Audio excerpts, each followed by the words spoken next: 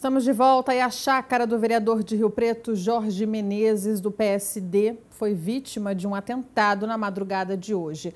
Criminosos invadiram e atearam fogo no local. Na chácara foram encontrados galões com gasolina.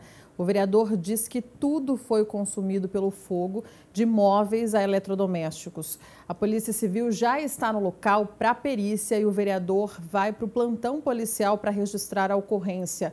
O vereador disse acreditar que se trata de um ato criminoso. A polícia vai investigar o caso.